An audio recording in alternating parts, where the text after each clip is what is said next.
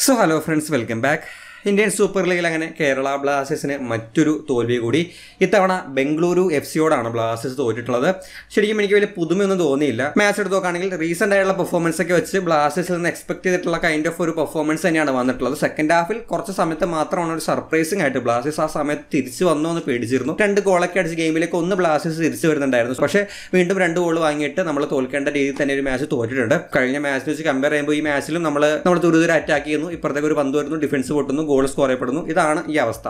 ഈ ഒരു മാച്ച് ഒരു പെർഫെക്റ്റ് എക്സാമ്പിൾ ആണ്. നമ്മളൊരു വീഡിയോ ചെയ്തിട്ടുണ്ടായിരുന്നു. ആ വീഡിയോയ്ക്ക് ഒരു പെർഫെക്റ്റ് എക്സാമ്പിൾ ആണ്. നമുക്ക് എത്രയൊക്കെ അറ്റാക്ക് ഉണ്ടെന്ന് പറഞ്ഞാലും എത്രയൊക്കെ വമ്പൻ താരങ്ങൾ അറ്റാക്കിംഗ് ലൈനപ്പിൽ ഉണ്ടെന്ന് പറഞ്ഞാലും എത്രയൊക്കെ ഗോൾ അടിച്ചെന്ന് പറഞ്ഞാലും നല്ലൊരു ഡിഫൻസ് ഇല്ലെങ്കിൽ ആ മാച്ചിൽ തോൽവി തന്നെയായിരിക്കും. ഈ മാച്ചിൽ നമ്മൾ രണ്ട് ഗോൾ അടിച്ച് തിരിച്ചു വരുന്നുണ്ട്. അറ്റ്ലീസ്റ്റ് അറ്റ്ലീസ്റ്റ് നമുക്കൊരു സമനിലയെങ്കിലും ആ മാച്ചിൽ കിട്ടിയേനെ. പക്ഷേ പക്ഷേ സെക്കൻഡ് ഹാഫിൽ വീണ്ടും പിഴവുകൾ വരുത്തി രണ്ട് ഗോൾ കൂടി വാങ്ങിച്ചിട്ട് നമ്മൾ നാല് രണ്ടിനാണ് ഈ മാച്ച് തോക്കുന്നത്. സോ ഇവിടെ ഡിഫൻസിന് ശരിയാക്കാതെ ലോങ് ടൂർണമെന്റിൽ ബ്ലാസ്റ്റേഴ്സിന് മുന്നോട്ട് പോകാൻ പറ്റില്ല. എത്രയൊക്കെ നമ്മൾ അറ്റാക്ക് ചെയ്തെന്ന് പറഞ്ഞാലും എത്രയൊക്കെ ഗോൾ അടിക്കുന്നുണ്ടെന്ന് പറഞ്ഞാലും ചില മാച്ചുകൾ ചിലപ്പോൾ സർപ്രൈസിംഗ് ആയിട്ട് ഈ പറഞ്ഞ പോലെ അറ്റാക്ക് ചെയ്തുകൊണ്ട് നമ്മൾ ജയിച്ചേക്കാം. പക്ഷേ ഒരു ലോങ് ടൂർണമെന്റിൽ ഇതേപോലെ ബംഗളൂരു എഫ് സി മോഹൻ ബഗാൻ മുംബൈ അവരോടൊക്കെ വരുമ്പോൾ നല്ലൊരു ടഫായ ഡിഫൻസ് ഇല്ലെങ്കിൽ പറ്റൂല. ഇത് തന്നെയാണ് അവസ്ഥ. നമ്മൾ ഗോൾ അടിക്കും. നമ്മൾ രണ്ട് ഗോളോ മൂന്ന് ഗോളൊക്കെ അടിക്കും. പക്ഷേ അതിൽ കൂടുതൽ ഗോൾ തിരിച്ചു വാങ്ങി നമ്മൾ തോക്ക് തന്നെയാണ് ചെയ്യുന്നത്.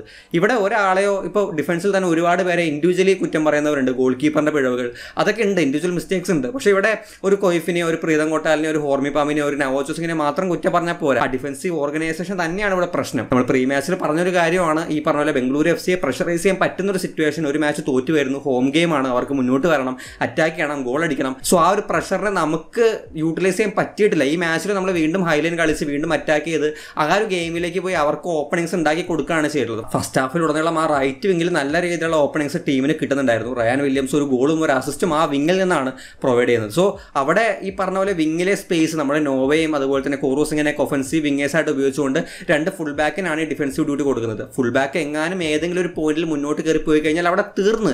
അങ്ങോട്ടേക്ക് ഒരു പന്ത് വന്നു കഴിഞ്ഞാൽ പിന്നെ അവിടെ ഹോളാണ് ആ പന്ത് ഓപ്പൺ ടീമിന് ഈസി ആയിട്ട് ഒരു വൺ ഓൺ വൺ ബാറ്റിൽ പോലും ചില സമയത്ത് ഇല്ലാത്ത രീതിയിലേക്ക് മാറുന്നുണ്ട്. സോ അവിടെ ഒഫൻസീവായിട്ട് പ്ലേയേഴ്സിനെ യൂസ് ചെയ്യുമ്പോൾ വിങ്ങിലെ പ്ലേയേഴ്സിനെ യൂസ് ചെയ്യുമ്പോൾ അവിടെ ഈ പറഞ്ഞ പോലെ ഡിഫൻസ് ഇങ്ങനെ കയറ്റി ഇട്ട് കഴിഞ്ഞാൽ പ്രശ്നങ്ങൾ വരും. അത് ഒരു മാച്ചല്ല രണ്ട് മാച്ചല്ല മൂന്ന് മാച്ചല്ല മാച്ചുകളിൽ ഉടനീളം കണ്ടിട്ടും അതിനൊരു പരിഹാരം. ഇനിയിപ്പോൾ ഹൈലിൽ തന്നെ കളിച്ചാലും മറ്റേതെങ്കിലും ഒരു പ്ലാനിൽ മിഡ്ഫീൽഡിലെ പ്ലേയേഴ്സിനെ വെച്ചിട്ട് ആ ഒരു വിങ്ങിലെ മാർക്കിംഗ് സെറ്റാക്കുക അതൊന്നും നടക്കുന്നില്ല.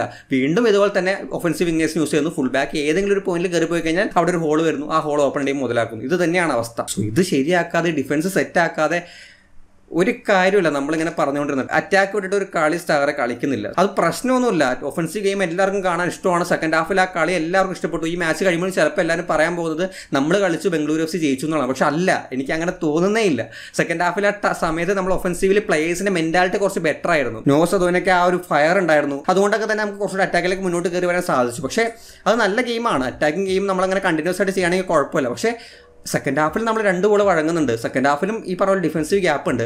ഇങ്ങോട്ടേക്ക് ഒരു ഹൈ ബോൾ വന്നു കഴിഞ്ഞാൽ അത് പ്രോപ്പറായിട്ട് ഡിഫെൻഡ് ചെയ്യാൻ നമുക്ക് പ്ലേയേഴ്സിന് സാധിക്കുന്നില്ല. ഫസ്റ്റ് ഓഫ് ഓൾ നമുക്ക് നല്ലൊരു റൈറ്റ് ബാക്ക് ഇല്ല. ഈ മാച്ചുകളിലെല്ലാം നമ്മൾ സന്ദീപ് സിംഗിനെ ഈ പറഞ്ഞ ഒഫൻസീവിൽ കുറ്റം പറയുന്നുണ്ടെങ്കിലും ഡിഫൻസീവിൽ അദ്ദേഹം അത്യാവശ്യം പെർഫോം ചെയ്യാറുണ്ടായിരുന്നു. അങ്ങോട്ടേക്ക് ഹൈ ബോൾ വരുമ്പോഴാണെങ്കിലും വൺ വൺ വൺ സിറ്റുവേഷൻസിലാണെങ്കിലും അവിടെയൊക്കെ ഡിഫൻസീവലി സന്ദീപ് പെർഫോം ചെയ്യാറുണ്ട്. ഒഫൻസീവിലി പോയി അടിച്ച് കളയുന്നത് ഓക്കെ അവിടെ ഒരു പ്രശ്നം അതിനുണ്ട്. പക്ഷേ ഇവിടെ ഡിഫൻസീവിലിയും അദ്ദേഹം വീക്കായിരുന്നു സുനിൽ ഛേത്രി അദ്ദേഹത്തിന്റെ സൈഡിലൂടെയാണ് ഹാട്രിക് അടിക്കുന്നത്. സോ അങ്ങോട്ടേക്ക് വന്നിട്ടുള്ള ഡിഫൻസ് ഡിഫൻസീവ് വീക്ക്നെസ്സുകൾ നല്ല രീതിക്ക് നമുക്ക് കാണുന്നുണ്ട്. സോ നല്ലൊരു പ്രോപ്പർ എക്സ്പീരിയൻസ്ഡ് റൈറ്റ് ബാക്ക് നമുക്ക് ഇല്ല. ആ പെർഫോമൻസ് നമുക്ക് വരുന്നില്ല. പ്രബീർ ദാസ് സെക്കൻഡ് ഹാഫിൽ വന്നിട്ടുണ്ട്. അതെന്തെങ്കിലും ഒരു ചേഞ്ച് കൊണ്ടുവന്നാലേ ഉള്ളൂ. ആൻഡ് സെൻട്രൽ ബാക്സിന്റെ കാര്യം പറയുകയാണെങ്കിൽ ചില സമയത്ത് നമുക്ക് പേടിയാണ്. ഈ ഹോർമി ഇങ്ങനെ പന്ത് കൊണ്ട് പോകുന്നു പന്ത് കളയുന്നു തിരിച്ചിങ്ങോട്ട് അറ്റാക്ക് വരുന്നു.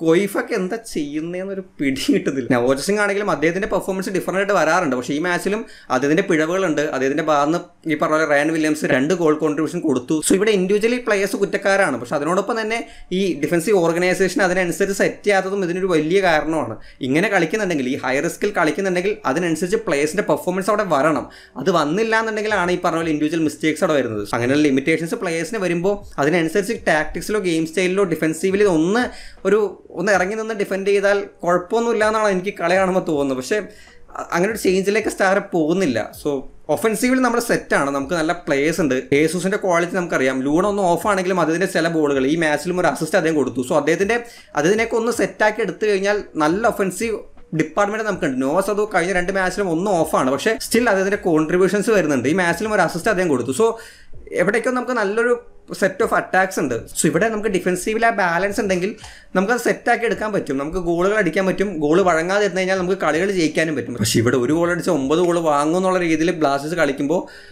എത്രയൊക്കെ നമ്മൾ ഫ്രണ്ടിൽ ആളുണ്ടെന്ന് പറഞ്ഞാലും എത്രയൊക്കെ ക്വാളിറ്റി ഉണ്ടെന്ന് പറഞ്ഞാലും യാതൊരു കാര്യം വരുന്നില്ല. ഒരു ലോങ് ടൂർണമെന്റിൽ ഡിഫൻസ് സെറ്റാക്കാതെ യാതൊരു ഗുണവും ഇല്ല. നമ്മൾ ഇനിയും മാച്ചുകളിൽ ഗോൾ അടിക്കും. ഇനിയും ചിലപ്പോൾ അറ്റാക്ക് ചെയ്ത് ചില മാച്ചുകൾ ജയിച്ചെന്നിരിക്കാം. പക്ഷേ കാര്യമില്ല. നമ്മൾ നല്ലൊരു ഡിഫൻസ് മെയിന്റെയിൻ ചെയ്തില്ലെങ്കിൽ ഡിഫൻസീവിൽ പ്ലേയേഴ്സിന്റെ പെർഫോമൻസ് വന്നില്ലെങ്കിൽ അവിടെ ആവശ്യമായുള്ള ചേഞ്ചസ് കൊണ്ടുവന്നിരുന്നെങ്കിൽ റൈറ്റ് ബാക്കിന്റെ ഒരു പ്രശ്നം പറഞ്ഞു. സെൻട്രൽ ബാക്സിലും കുറച്ചൊക്കെ പ്രശ്നങ്ങൾ നമ്മൾ കാണുന്നുണ്ട്. സോ അത്തരം കാര്യങ്ങളൊക്കെ അവിടെ കൊണ്ടുവന്നില്ലെങ്കിൽ ഈ പറഞ്ഞ പോലെ നമുക്കിനി ഒരു കംബാക്കിന്റെ ഒരു ഹോപ്പ് പോലും നമുക്ക് തോന്നാത്ത രീതിയിലേക്കാണ് ടീമിന്റെ പെർഫോമൻസ് പോയിക്കൊണ്ടിരിക്കുന്നത്. ആദ്യമൊക്കെ എവിടേക്കോ ടീം തിരിച്ചു വരും. അല്ലെങ്കിൽ ആ ഒരു എവിടേക്കോ ചില കാര്യങ്ങളൊക്കെ സെറ്റാക്കിയാൽ മതി. ചില ഇൻഡിവിജ്വൽ മിസ്റ്റേക്സ് ഒക്കെ ഒന്ന് സെറ്റാക്കിയാൽ മതി. പക്ഷേ ഇത് അവസാനിക്കുന്നില്ല.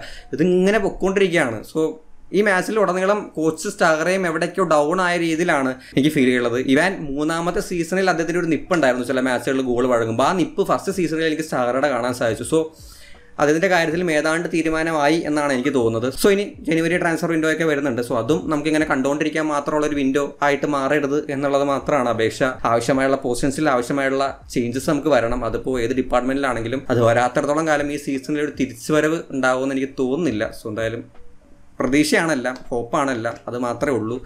അതെപ്പോഴും ഉണ്ട്. ഇത്രയൊക്കെ പറഞ്ഞു വെച്ചാൽ അടുത്ത മാച്ച് കാണാതിരിക്കില്ല. അടുത്ത മാച്ചിന് വേണ്ടി വെയിറ്റിംഗ് ആണ്. ആ മാച്ചും കാണും. നയന്റി മിനിറ്റ്സ് ഇരുന്ന് കാണുകയും ചെയ്യും. എന്നിട്ട് കളി കഴിയുമ്പോൾ ഈ അവസ്ഥ തന്നെ ഇരിക്കും. സോ എന്തായാലും ഇത്രയൊക്കെ എനിക്ക് പറയാനുള്ളൂ. മിസ്സായിട്ടുള്ള ഒരുപാട് കാര്യങ്ങളുണ്ടായിരിക്കാം പോസിറ്റീവായിട്ടുള്ള ഒരുപാട് കാര്യങ്ങളുണ്ടായിരിക്കാം അതൊക്കെ ഒന്ന് തണുത്ത് പതിയെ സംസാരിക്കുക. അതിനെപ്പറ്റി എന്തായാലും നിങ്ങളുടെ അഭിപ്രായങ്ങൾ കമന്റ് ബോക്സിൽ ഷെയർ ചെയ്യാൻ ശ്രമിക്കുക. നമുക്ക് എന്തായാലും മറ്റു കാണാം. ബൈ